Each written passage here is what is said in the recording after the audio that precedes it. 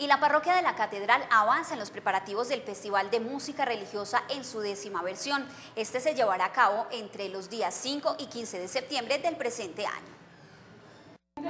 Es así como ya se tiene la confirmación de las diferentes agrupaciones que deleitarán con sus melodías a los asistentes a los diferentes conciertos. Estamos eh, mostrándole y presentándole desde acá, desde Sonsón TV, como primicia, el afiche del Festival de Música Religiosa, la décima versión en forma ininterrumpida. Es un orgullo para nosotros, desde la parroquia de la Catedral, con el apoyo de la Alcaldía Municipal y del IDEA, el Instituto para el Desarrollo de Antioquia, presentar este afiche y presentar la programación del Festival de Música Religiosa. Durante este año van a llegar grupos de Sabaneta, Envigado, Río Negro, Medellín y desde luego nuestro grupo anfitrión, eh, nuestra eh, orquesta Semillas de Paz que dirige el maestro Jonier Valencia.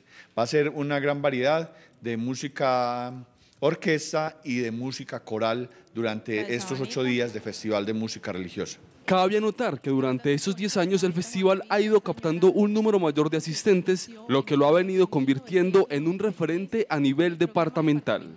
Ha sido un devenir cultural, ha sido un crear público que se ha venido desde el inicio, que cuando llegábamos íbamos muy poquitos a los festivales, ya hoy en día hemos podido proyectar y ver cómo las personas esperan el festival, cómo los grupos de las ciudades también esperan nuestra invitación. Cuando llegamos y llegamos hasta donde ellos a formularles la invitación, vemos que no hay ningún reparo y siempre están dispuestos a venir a participar del festival. Las personas interesadas en el afiche oficial de esta nueva versión del Festival de Música Religiosa pueden adquirirlo en el despacho parroquial de la Catedral y en cuanto a la programación, esta empezará a ser distribuida en el transcurso de los próximos días.